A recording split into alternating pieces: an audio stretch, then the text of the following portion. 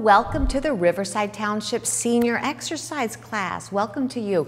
I am Kim Wade. I'm founder of Inner Gaze Yoga. I'm also founder of the Inner Circle, Healthy Habits for Wild Women Over 40. Come on, do it with me. Today's class, we're going to be stretching our inner body. That's our breath. Big class, big breaths are what we're looking for. So grab your chair, an open heart, some curiosity, and your wild self. Hello, hello, welcome back to you guys. So today we're going to be talking about feeling our feelings. So I just want to remember what I had just said a few minutes ago. I want you to think about it as we're working because today requires a lot of curiosity. So you could pretend you're like pulling a beard. Very interesting, very interesting. The whole time it's very interesting, very interesting, okay? We want to have a curiosity in this. So part of yoga, the whole goal of yoga actually is to know yourself. Can you imagine like if you really knew yourself, that means you're good, you're bad, you're ugly, all the stuff you know yourself and you have compassion. Like you have compassion for yourself because the idea is when you have compassion for your good, bad and ugly, then you have compassion for my good, bad and ugly, right? So you get to practice on yourself. That's why we say yoga practice and not yoga perfect. So today what we're going to be doing is we're going to be doing some challenging poses and and if you were here with me live, I would say, What do you feel in that pose? And people will say, I feel good, I feel better, I feel worse, I feel bad. And those are all just judgments, right? That's not curious, that's sort of perfectionism. But what we want to go is thinking about it from a sense of curious, very curious, where we're thinking about that feels burning, or that feels crunching, or that feels a little bit limiting. You want to be noticing what words you use to describe these feelings because as you learn to do it physically, in this physical body, we can do it with our emotional lives too, right? Body, mind, and spirit, they're all related. I like to tell a joke. Doesn't matter what you eat, doesn't matter how thin you are or how much you exercise. If you're angry all the time, you're not healthy, right? So we body, mind, and spirit. You ready? Okay, so the first thing we're gonna do, as always, is we're gonna check in. Check in, see how we slept, see how we're feeling. So just take a moment, maybe shake it off, do some sort of fancy dance here where you're just letting the day go. Maybe you've had some conversations today, maybe you haven't talked to anybody, right? Just all the things that are in your heart right now, in your body. How am I presenting today?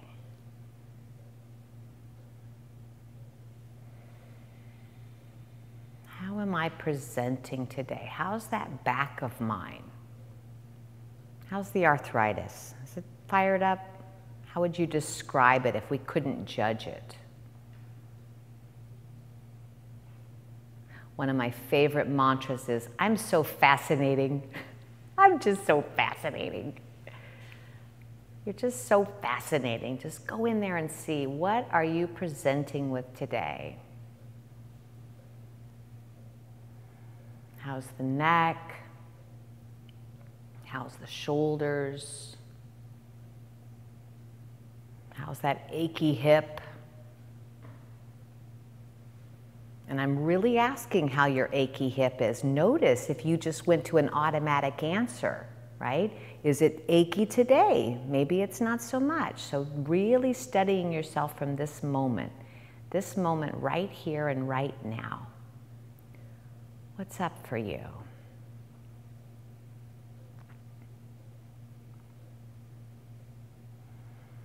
First step of mindfulness is noticing what I'm presenting with. Number two is can I just be with it? And sometimes the answer is no, right? Sometimes we don't want to be with our pain, right? Sometimes we don't want to be with our grief or our aches, right? All that's true too. And if that's the case for you, if you don't want to be in it, then I'm going to recommend something else because some days, Mama said there'd be days like this, right? Mama said there would. All right, so here's the other option. If you don't want to just sit with it, if you don't want to just have some space with however you're presenting, your other option is to start to notice the breath, that inner body, okay? So remember, we're feeling our feelings here, we're feeling what our senses are. So we're going to just watch ourselves breathe instead. So you're either sitting with whatever's happening in your body, or if your mind needs something to focus on, I want you to count how long your inhale is and how long your exhale is. We'll be doing this for one more minute, turning on that inner gaze.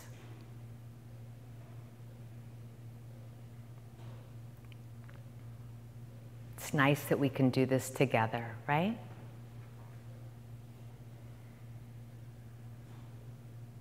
We can be here together noticing the breath.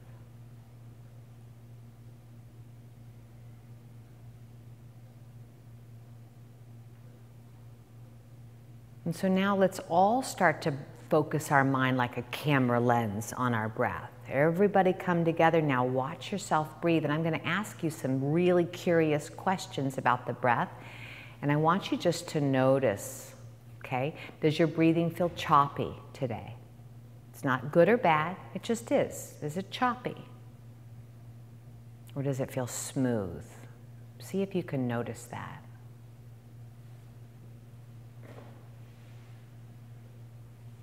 How about deep? Does it feel deep or is it more shallow?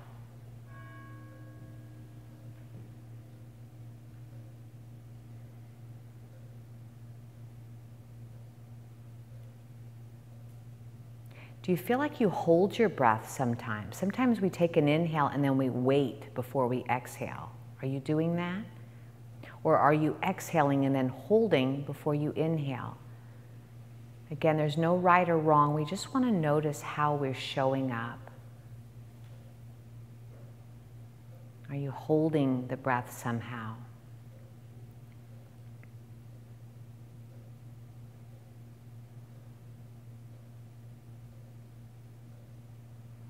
And I just heard someone out there go, When are we going to do yoga? Why do we have to do this? This is what it is. This is what it is. Exercise is not yoga. Yoga is not exercise. Remember, it's getting to know ourselves. It's knowing where we are so we know how to begin. So, one more breath here, whatever's happening for you, because it's the yoga. And let's bring our hands together. My teacher used to tell me yoga begins the moment you want to leave, right? As soon as you want to stop doing something, that's when the yoga practice really begins, when you start to get irritated. Okay, so that's what we're going to focus on today is getting irritated. Doesn't that sound fun? That's so fun. Let's come to standing. Now, standing, um, as always, we want to have our feet hip distance apart. So the hips right here, these little bony bones, right over the knees, right over the second, third toe. This is called mountain pose, or we call it Tadasana. And this posture, I love it because you're standing on your own two feet. Now, for some reason you got a knee thing today or a hip thing today and you don't want to do it, you can always take mountain here in the chair, right? But for those of you who feel like you're wanting to come up on your own two feet, you want to stand up nice and tall, I want you to feel where in the body you are presenting on the feet. Do you feel like you're leaning on the outside edges? Do you feel like maybe you're turning your toes in? Are you pushing the weight into the heels, locking up those knees? Can you find the front of those toes a little bit more? So just taking a moment here to stand here in mountain pose, taking your head right on top. As always, just a little tuck of the chin and feel yourself in mountain.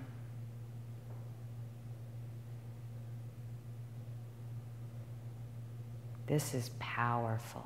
It's a powerful pose. And in truth, this pose is inside every pose we do. It doesn't matter what pose we're doing, this is what we want to be finding, this shape. Okay, so that's our lesson today very curious, right? Very curious. How am I going to keep this action? Three more breaths.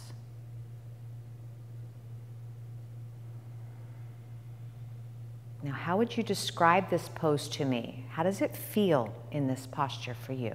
Unsteady? Powerful? Elegant? Wobbly? So I want you to think of three words, three words that you would describe it to me with. How does it feel to stand in mountain?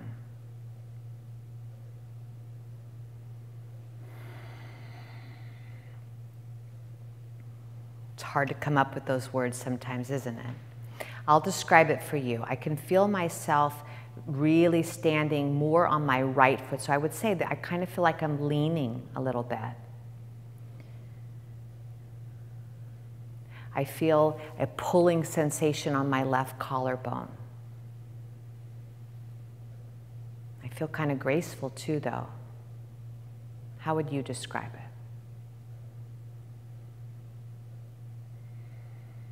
What about if you turned it on by breathing really deeply?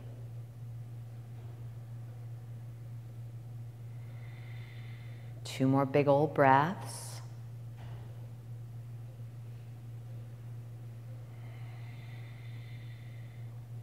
When you brush your teeth, when you do your dishes, this is a pose to practice.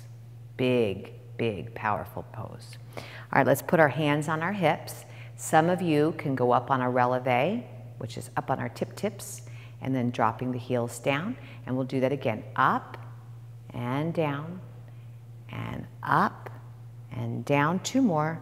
Up and down. Bend your knees. Some of you will be able to boop. Some of you are like, uh-uh, I'm not doing that. You're going to open. But those of you who can, maybe a little bit of a bunny hop okay? If that feels safe for you, if it doesn't, you don't have to do it, of course.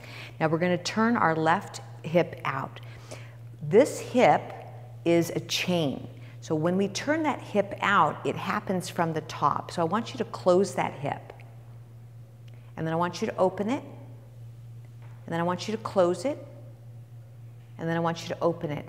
It's all happening from the hip, not the knee. And this is very, very important as we start to move today, okay? So you're moving it from the top. One more. And neutral, switch a ruby, take the other one, open and close and open and close. We could pretend that we're in Wizard of Oz, the Tin Man, juicing up those hips.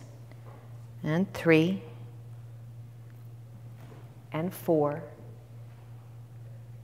and five. So now let's focus on the chain, right? There's a chain that has to happen. We want to be opening and closing from the top of the hip, not the knee. So let's practice that. Let's open our legs. Let's open this left hip. Okay? We want to make sure that the whole kneecap is sitting over that second, third toe, opening and closing from this hinge five, and four. How's that feel? It's like the Tin Man, right? You're juicing it up. I like to say the motion is lotion, right? Motion is lotion, juicing up those joints a little bit. Two, and one, and close. Good. Let's go to the other side. We're going to open and close four more times right? Because as we get older, we get a little bit dry. Our skin gets dry, our hair gets dry. Well, our joints get dry too. And so part of keeping them supple is having these movements. So you want to make sure you're being safe with your movements and you're noticing how they feel. Last one. Right? How's that feeling? You ready for some more? We're going to come and take our chair. If you have a chair nearby, or you could even use a table.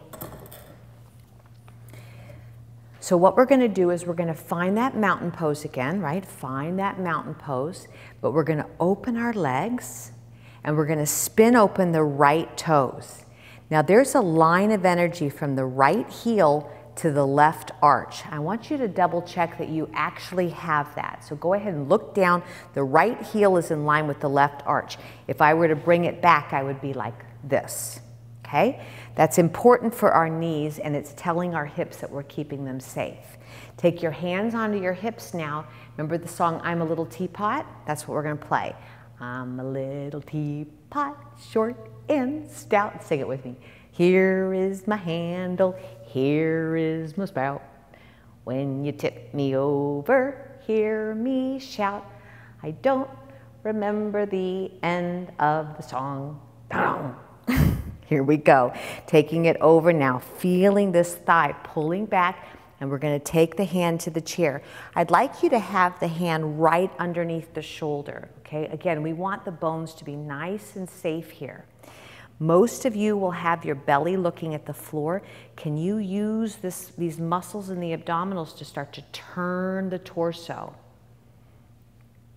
If there feels like a lot of pressure in this right wrist, some of you might even take that left arm to the sky. If that feels too pinchy on your shoulder, you can keep that hand to the hip.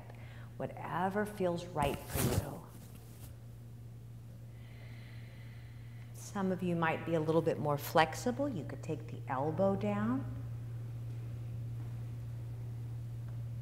You know what's fun about teaching all levels is that you get to see where you were and you get to see where you're going.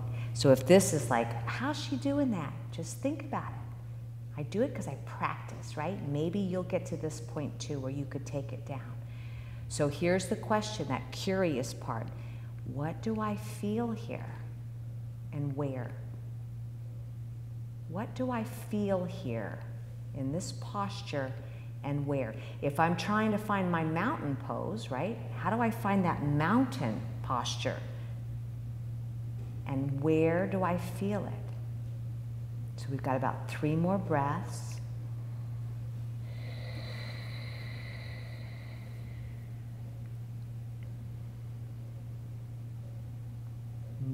Move your breaths. One more deep one. Put a soft bend in your knee to keep it safe and pull yourself up. And we're going to turn this hip closed very gently. Take your time and very carefully walk your feet together and return to our mountain pose and receive. I like to put the elbows close to the ribs, palms facing up. Find my breath again. Long spine, easy breaths. I can hear some of you saying that was good. Remember, that's a judgment. We don't want to say it's good. What is it? Does it feel strong? Do you feel more open? Do you feel like ease? Should we do the other side? Yeah, we should do the other side. Here we go. Take your chair to the other side, or you can pivot yourself around. Same thing, we're looking for this pose in this one. It's called triangle, one of my all time favorite poses to do every day. Left heel in line with the right arch. I really want you to look down and make sure you're doing that because we want yoga to be very safe. We want to love our practice. We want to know that we're held and nurtured in these poses. We don't just want to throw ourselves unsafely in them. So double check that you've got that alignment because that's going to keep your knees healthy. And then we're going to be a teapot. And I'm not going to sing this time, so I want you to do it. Here we go. Hmm, hmm, hmm, Come on. The reason I like to teach it this way, where we do it a few times, is it's a, a type of Viniyoga. It's a type of therapy yoga, therapeutic yoga, where you're telling your body what you're expecting of it. So by going in and out a couple of times, the body starts to trust you. And then it starts to open to you a little bit more. One or two more times. Tip me over and pour me out. That's the end. Okay, here we go. Hand comes right under the shoulders. I'm asking my bones to do the work here, not my muscles, not my ligaments. And then I'm going to either take my hand to the hip and I'm going to find that mountain pose, or some of you might even take your arm up to the sky. Another option is to keep the fingertips on the shoulder. I want you to feel very comfortable here. Okay? What does this feel like and where? One way you can know if you're getting more and more into your practice is if you start to see some subtleties between the difference between your left side and right. It's like, oh, my left hip is a little tighter, or my, my calf on the other leg was a little bit more stretching. You'll notice those little details because, again, we're so fascinating. Aren't you so fascinating? Maybe you're bringing that elbow down. And remember what you're wearing on the face. It's always so funny to me to see yoga people with like scowls on their face. So double check that you've got a nice little face happening, that you're enjoying what you're doing. Breathing deeply, and then how would you describe it? Three more breaths. What would you say about this posture? No judgments at all. We're learning how to know ourselves. Stepping into that spirit, right? Living our best life right here, right now. One or two more deep breaths. I just love yoga. I love yoga. One more. Put a soft bend on your knee so you keep it safe, and we're going to come on out. Now, here we're going to do what is called downward dog. We're not going to do full downward dog. Close this hip. We're going to use our chair, but first let's process. What are you noticing?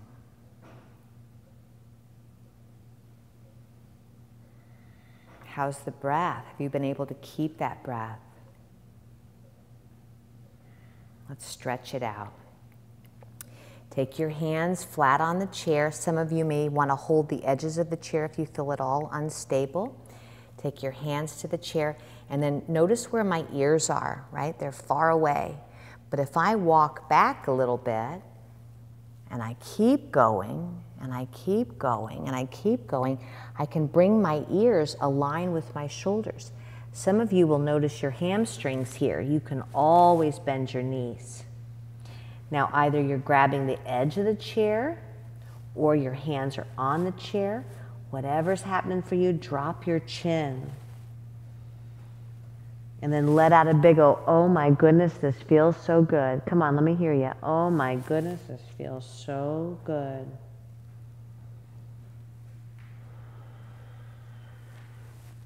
Keep bending your knees. If your belly is in the way, open those legs. Let it all hang out here. Ah, three more deep breaths.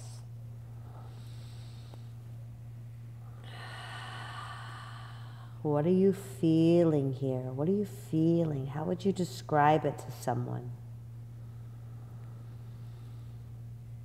I feel so safe. I feel nurtured. I feel loved. I feel like my body's opening. What are you noticing? Last inhale, exhale.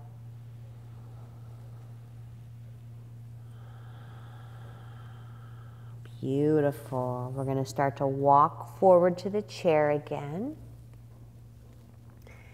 Bend your knees and come on up. What you think? This one's a good one, right? Every single day. All right, we're going to end with what we call eagle pose. Eagle pose is a lovely way to open up that back. But again, you want to make sure you're happy here. So you find a level that works for you. We've got the chain turned on. I'm going to cross my knees, okay, like I'm sitting in a chair, because you know what?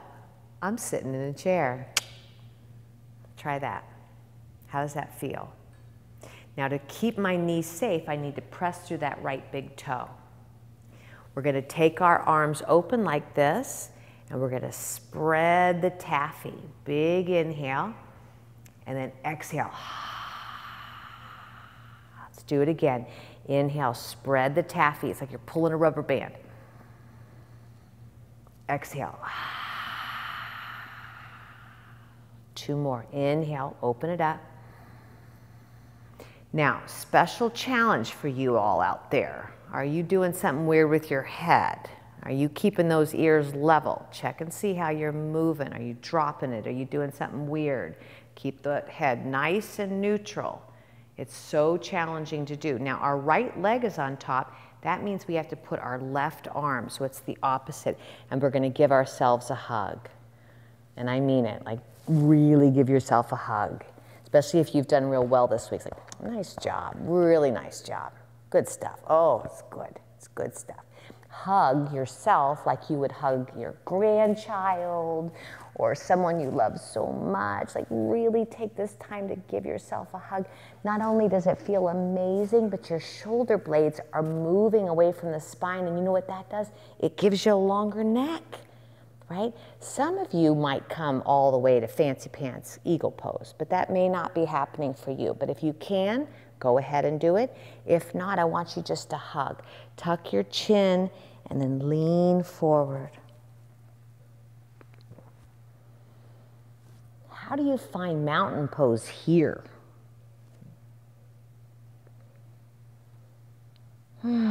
What are you noticing about yourself here?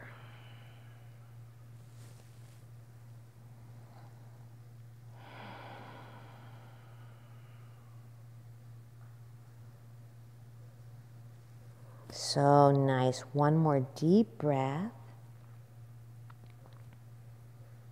And gently releasing the arms, roll yourself up, up, up. Open those arms and pause. Let's take our neutral legs again and turn our head. I do like it when folks practice this in the mirror because what I'm going to turn so you can see what I'm talking about. People turn their heads like this. They crunch their neck. So when we're turning our head, we're trying to keep the ears level.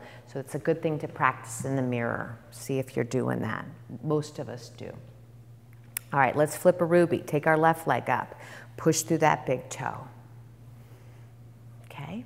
We're going to take those arms nice and wide. Do you remember which arm would go on top if that left leg is on top? The right arm. So it's the opposite. That way we're finding balance. There's that hug again. Nice job. That was a good dinner you had last night. But whatever it is, just give yourself a big old hug. You know, there's skin hunger is a real thing. You know, when babies are born, they like touch. Skin hunger is real. So giving yourself self-touch is part of yoga too. Giving self-massage, you know, using your fingers, doing the walking on your muscles and finding those pressure points and massaging your head. All that's part of yoga. Such a nurturing practice. All right, some of you fancy pantsers can come into full eagle arms, but maybe that's not accessible to you. And we're gonna sit up nice and tall, and then we're gonna, like, we're hugging over a big old beach ball. Start to drop yourself and feel that spine. Feeling the way this feels. How does it feel around your lower back? How would you describe that? How about in the middle back?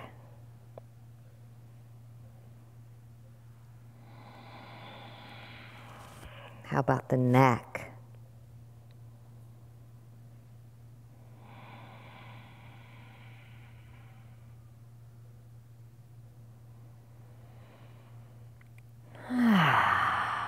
So nice. And we'll take ourselves back up again.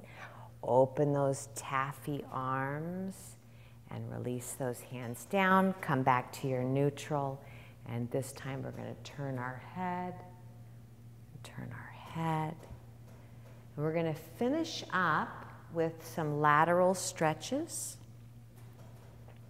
And that means we're going to hook our arm, grab the hand on the, on the chair, and we're going to lean over.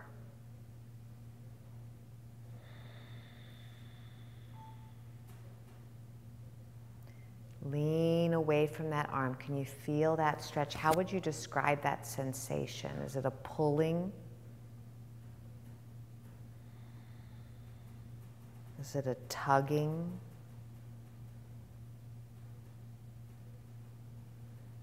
Two.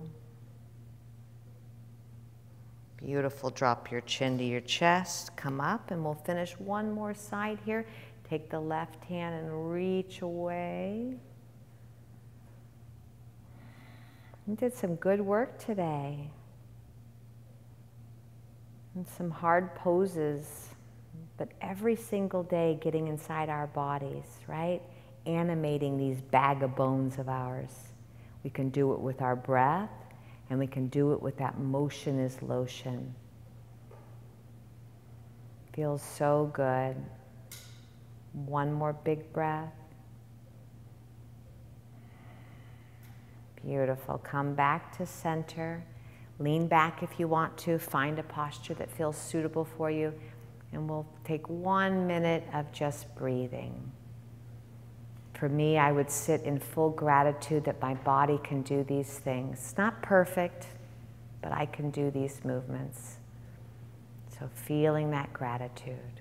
So appreciative that you're here, that we're here together, and that our bodies do these movements.